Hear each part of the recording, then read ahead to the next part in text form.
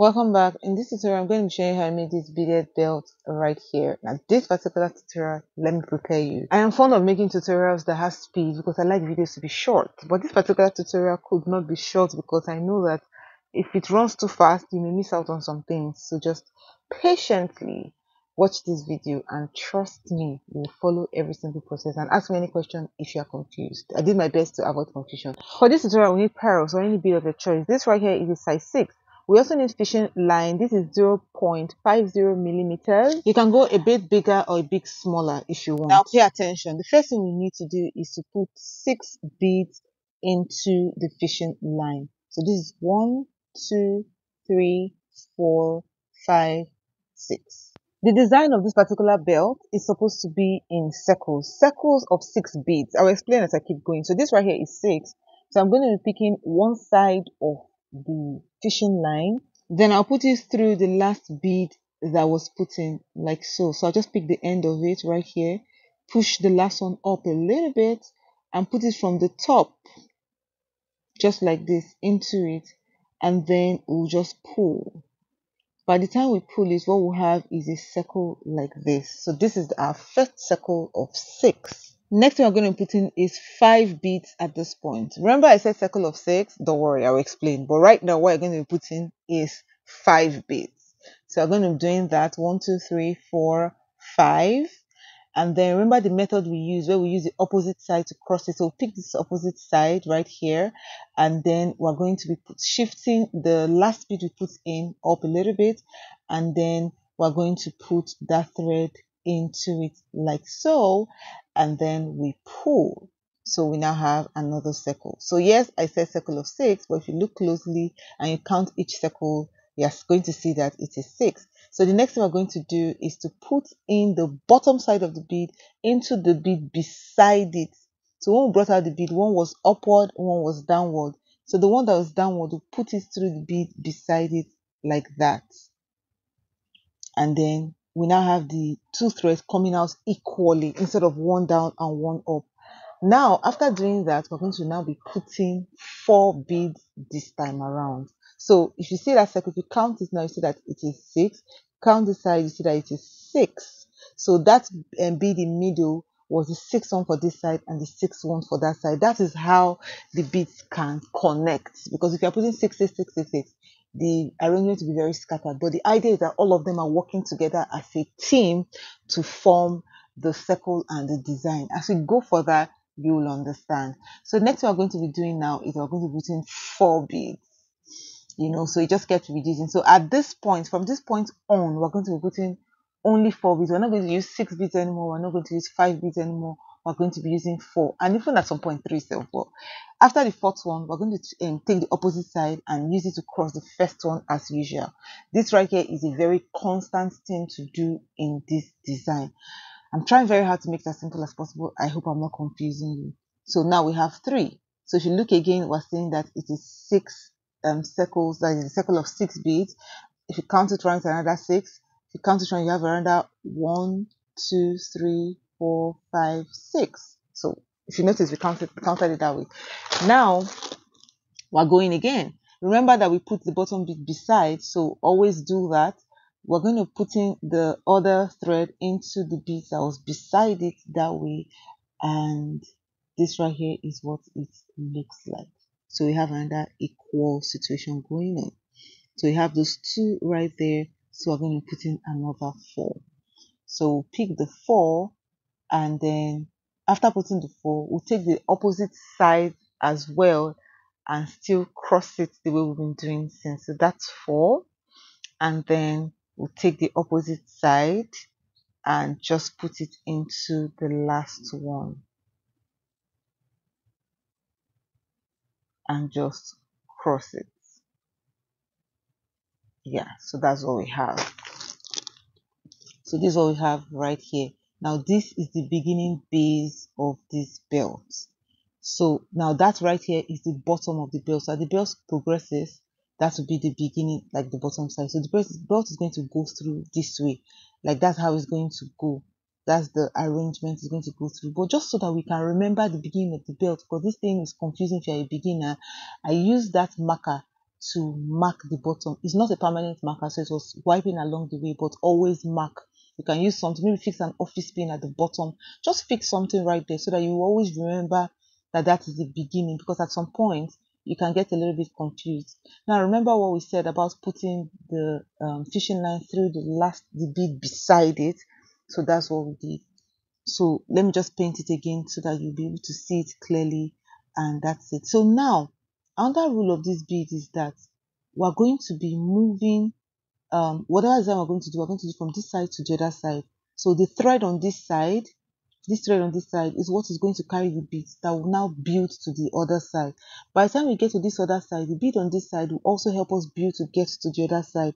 So you don't put beads in a thread that is in middle. You put beads on a thread that is at the edge.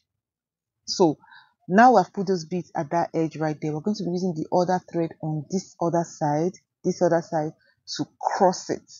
So cross it right there and pull it as usual.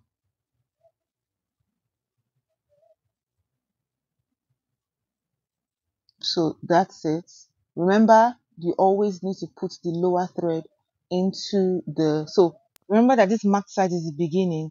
Now, there are times when you're walking and then it just turn like this and it will look like it is this place that is beginning. But because we've marked the other side, it's easy to remember. That way we have a sense of direction.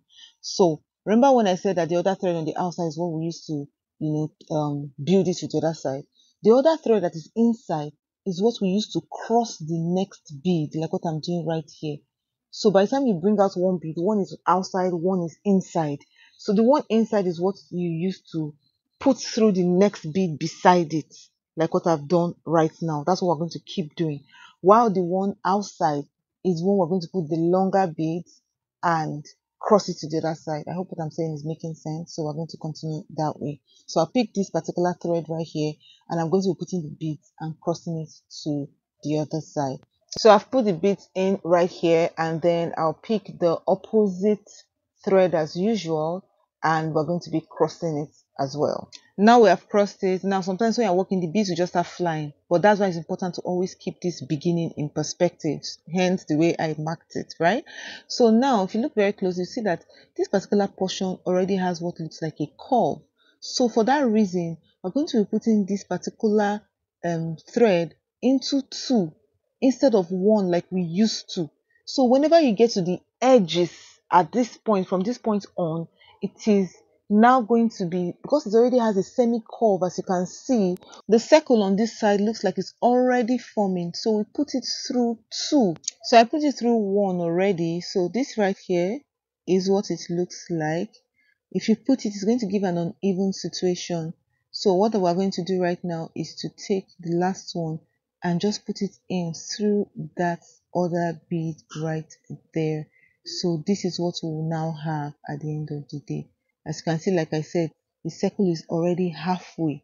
So we need another half circle to complete it. So remember the rule of it is one that is at the edge that we're going to build to the other side. And the way to be sure of this positioning is by placing the belt the way it's supposed to be. As you can see, we're seeing the mark side as the arrangement. So we're going to shift the other thread that way and we're going to be putting the three beads into this particular thread right here. So we're going to put in one, two, three, and then we'll take the other side of the thread and cross as usual. So after we've done that, this right here is what we have by the time we pull. Remember, this right here is still the beginning. This is the point I'll ask. Where do we put the next beads? Your guess as good as mine on this side. So we're going to be putting the beads on this side and crossing it that other way. But before we do that, this other bead on this side is what we're going to be putting into the next bead beside it. So that is the rule. So we'll put that one on the next beside it and then we're going to be putting the beads through the outer side into the inner side. So I'll go ahead and get the bead, I've put it, take the other side that we crossed to the next bead beside it and put it from the top into the last bead and just At this point, we are moving away from using that mark because the marker is only um, to help us identify the beginning. Because when you're just starting, you can have four beginnings and you'll be confused on the actual beginning. So at this point, this right here is what we have, and then we'll put it beside it as usual. take this next one cross it in and drag and then at this point that one beside it we'll put it into the other two. Like we said that semi cover I is already there. Yeah so we'll take three. Take the other one from the other side and cross it. The inner one at this point will be the one to go through the bead beside it while the outer one will collect the four beads put it in and turn. The inner one as well will go to the next bead the outer one collect another four beads cross it and put it. This is the part where we need three beads. So, the, so that inner one we're calling inner before, by the time it goes to these three beads, it becomes outer. And then we'll put in three and put it through.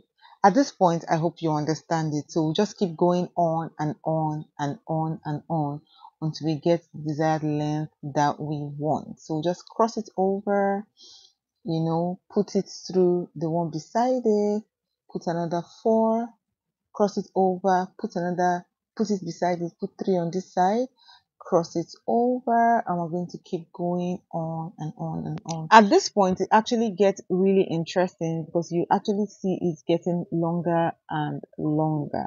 One thing about this thing is if you miss it at some point, it will always backfire at some point. So you have to go back and go and correct your mistake. So there's no room for overlooking any mistake. Any mistake you make, just correct it before moving forward. If not, it's going to show. I ended up making it 44 inches instead of the 41 you saw earlier. This right here is the belt hook we're going to be using. So make sure that you lie the belt hook the way it normally be when you wear it that way. And then putting the beads through the back of it. At this point, we're going to be counting one, two, three.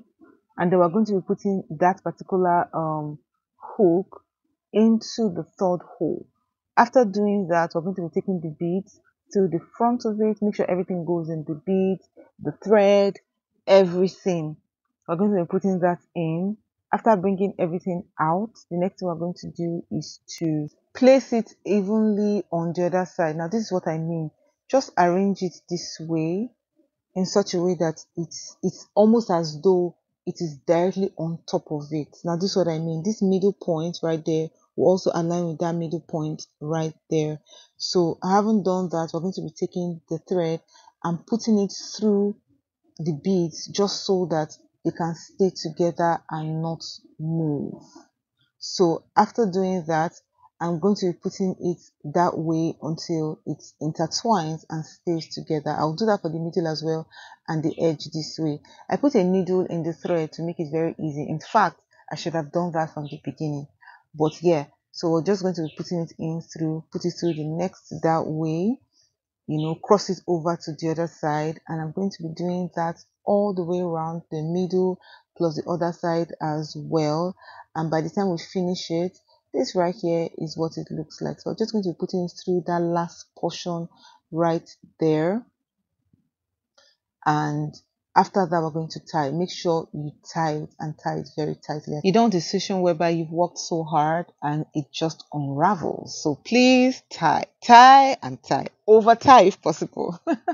so we're done tying, we just cut it off and voila. This right here is what we have. This right here is what it looks like. You can go ahead and style it however you feel like styling it. I made seven of this, by the way. This is all seven of them, and this right here is a way to style it. So I just put it on a dress that I was wearing, and then I just put it into that particular. You know how to wear a belt, right? I didn't explain all the stories. but yeah, this is how you can do it. I did over a black dress. You can do it any color you want, and however it is that you want it. Thank you so much for watching my video. I'll see you in my next one. Bye.